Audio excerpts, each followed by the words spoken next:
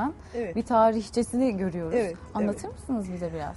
Em, 18. yüzyıl ortalarında hüküm sürmüş olan Sultan 1. Mahmud'un sadrazamlarından birisi e, Seyit Hasan Paşa, sadrazam Seyit Hasan Paşa e, anne tarafından e, büyük büyük büyük büyük dedelerden e, birisi imiş E, ve onun e, bir e, yüzük hikayesini bu kitapta anlattım çünkü padişah ona armağan etmiş bir e, elmas yüzük Aa, ve e, çok değerliymiş öyle anlaşılıyor. Ancak e, vefat ettiğinde Anadolu'da vefat etmiş İstanbul'da değil e, parmağından çalınmış ve padişah üç ferman yazmış bunu geri almak için. Benim hazinemden pek kıymetdar bir parçaydı. Bunu bana geri bulun diye ama tabii bulunamamış. Sonra anlaşılmış ki Basra'ya gitmiş. Basra'da tekrar satılmış ve bir Hint mihracesine gitmiş. Hep bunu diyorum şimdi o olsaydı şöyle O sizdeydi değil parmağıma. Kitabınız da tamamlayacak bir parça olabilirdi belki. evet evet. İlginiz oradan da geliyor olabilir mi acaba? Ee, Çünkü olabilir çocukluğumuzda bu hikayeleri de Evet, e, duyarak büyüdüğünüz için. Bir de teyzenizin Haklısınız. etkisi. Muhakkak muhakkak bütün bunlar var. Zaten yani e, hiçbir şey durup dururken tek başına olmuyor. E, bir e, ortam oluşuyor. Nasıl ki sanatsal akımlar böyledir. Yani e, bir ortam oluştuğu zaman e, ortaya çıkar. E, hepimizin ilgileri, e, merakları e, böyle tabii yavaş yavaş görerek, duyarak. Tabii yavaş yavaş e, şekilleniyor. Evet, evet muhakkak ki öyle ama e, bunun desteklenmesi de çok önemli. Yani hepimiz için, e, çocuklarımız için, e, gençler için bu çok önemli. Onları e, kültürel konularda meraklandırmak gerekiyor. Yani yalnızca böyle bir ders gibi öğretmek değil, merak uyandırarak sevdirmek çok önemli. Ben Doğru, derslerimde de bunu yapmaya gayret ettim hep. O yüzden de ilgi çeken hoca, ilgi çeken öğretmen Umarım, oldunuz bence. umarım, umarım öyledir. Peki bu kadar sanat tarihiyle, Osmanlı tarihiyle iç içe olan birine sormadan edemeyeceğim. En çok ilginizi çeken padişah hangisiydi? E, tabii hemen cevaplayabilirim çünkü e, benim en çok üzerinde e, çalıştığım dönem Lale Devri. 18. yüzyılın başları ve Lale Devri padişahı Sultan 3. Ahmet. E, onu çok inceledim. E, zaten Gölgemi Bıraktım Lale Bahçelerinde romanımın da kahramanlarından İlk romanınız. birisi. ilk romanımın Levni ile birlikte. Ve Lale Devri zaten çok ilginç bir dönem. Ve 3. Ahmet'i incelediğiniz zaman karşınıza çok e, sofistike, incelmiş zevkleri olan bir kişi çıkıyor. Peki Lale kitabınız geçen e, yılbaşı civarında çıktı dediniz. Evet, öyle oldu. Bu yılın başında Evet, çıktı. evet, Lale evet. Aslında Osmanlı'da çok fazla yer alan, Lale Hem devri. de nasıl? Çok fazla yer alan, bizim Tabii, kültürümüzde çok tabii, fazla bizim yer alan. çiçeğimiz o. Evet bizim çiçeğimiz Evet. fakat Hollanda'ya bizden gitti. Sonra Evet, evet. soğanını sanırım bizden Evet. almışlar değil mi? Böyle bir Ee, hikaye de var. tabii, Doğru mu tabii bu arada? hikayeleri var. Ee, kitabımda hepsini anlattım e, bütün bunların. Ee, ve Evet, bakın kitabın gösterelim. kapağına da e, Ne güzel bir lale evet, motifi e, var. bir kaftandan alınan e, bir lale motifini koydum. E, tabii e, lale gerçekten e, Anadolu'nun ve daha sonra İstanbul'un çiçeği. Zaten anda tabii İstanbul İstanbul'da. lalesi diyorlar. Şimdi yine biz laleyi benimsedik ve bu çok önemli, çok doğru bir şey. Çünkü gerçekten 16. yüzyılda Avrupa'ya e, buradan gitmiş lale. Avrupa çok sevmiş onu. Özellikle de Hollanda biliyorsunuz. Lale çılgınlığı yaşamışlar. Evet. dünyada. Orada ve ondan sonra hep devam etmiş. E, fakat Hollanda'da da her zaman kabul ediliyor ve bir takım yerlerde yazılıyor e, ki bu e, Türkiye'den gitmedir diye. Yani bu gerçek e, tabii ki biliniyor. Fakat bizim daha çok e, sahip çıkmamız gerekiyor buna. Şimdi bu artık e, tekrar bu fikir yerleşti. Ben de bu kitapta hem e, alt başlığı doğada, tarihte, sanatta yani e, nasıl oluştu, nasıl geldi, mitolojik hikayelerini bile verdim. E, sonra tarih içerisindeki yerini bir de sanatta. O kadar çok alanda, o kadar güzel kullanılmış ki lale. Osmanlı'da nasıl başlıyor peki hocam? müthiş. E, Osmanlı, kültürü? e, lale kültürü e, aslında hep var. Çünkü o bir yabani çiçek ve dağların çiçeği. E, bizimle birlikte Anadolu'ya gelmiş zaten. E, sonra Artık bir imparatorluk haline gelince çiçek zevki de daha çok su yüzüne çıkıyor. Osmanlı kültüründe büyük bir çiçek zevki var. E, Ve e, lalenin e, çeşitleri kültive edilerek e, yetiştiriliyor, çoğaltılıyor. E, ve lale encümenleri kuruluyor, lale akademisi diyebiliriz buna. E, Lale kitapları yapılıyor.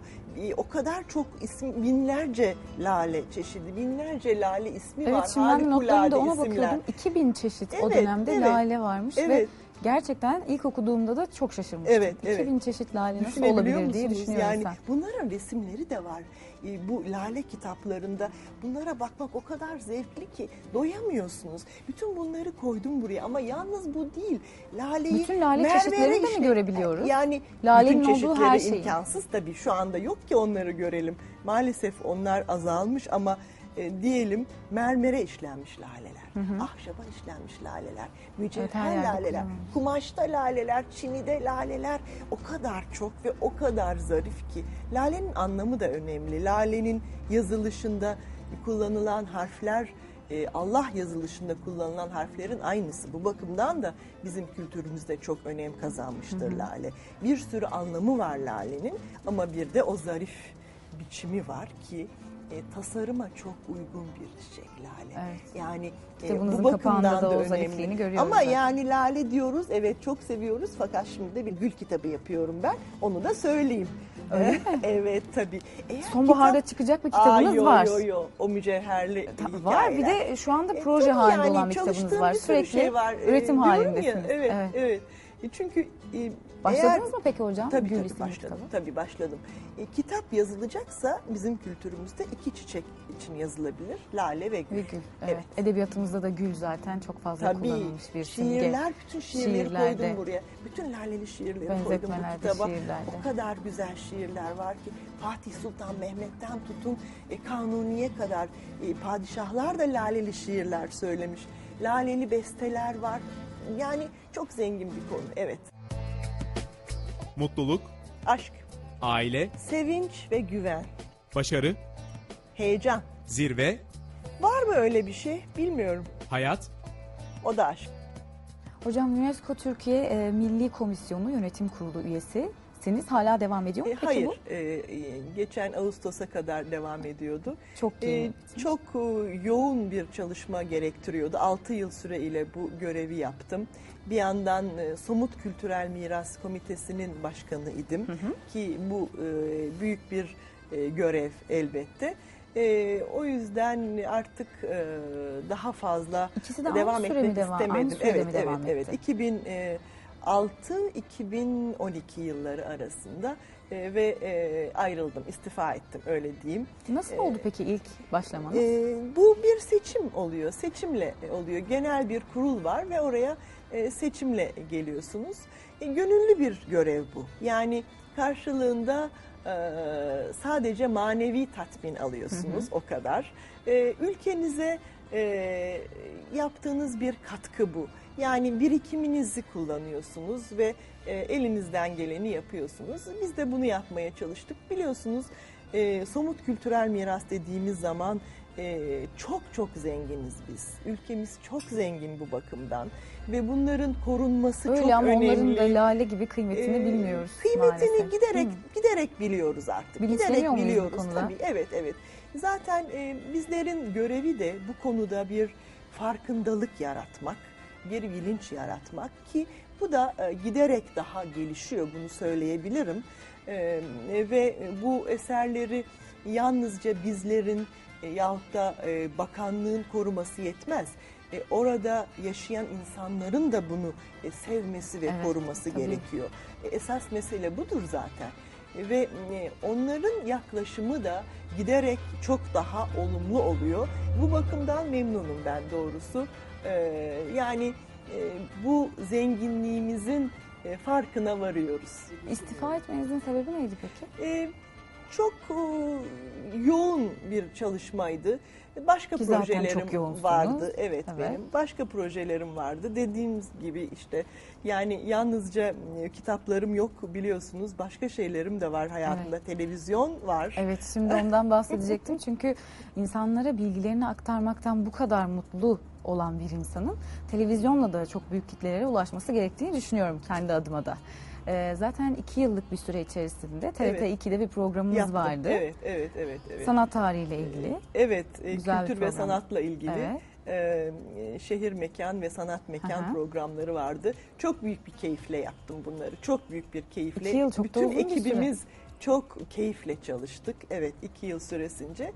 E, Şimdi bir başka program e, Yeni bir başlıyor. heyecanınız var o Yeni konuda da. heyecan. Hem Evet. de nasıl, evet heyecanımı anladınız bu konuda.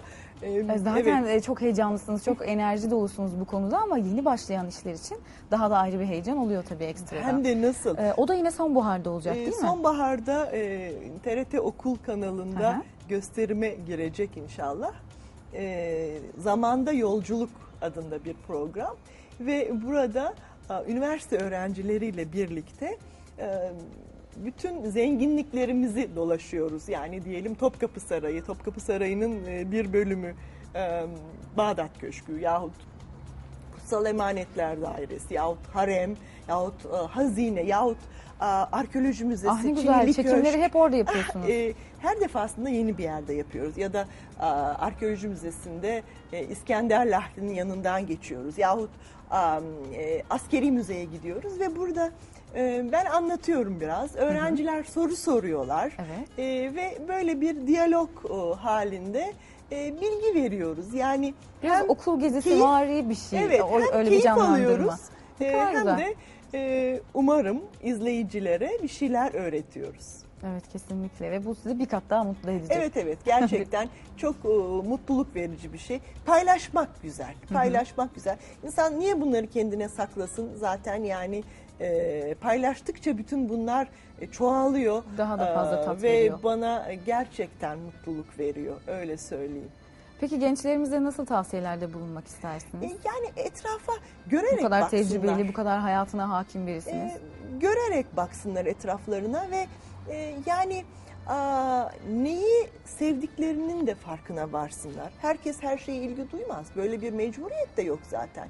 Fakat e, yani edebiyata mı ilgi duyuyor, şiire il- ilgi duyuyor yahut da görsel sanatlara bir sanat dalı, bir mimari ya da bir sanat dalına ilgi e, duyar insan muhakkak diye düşünüyorum. Yahut da müzik olur bu insanın hayatında.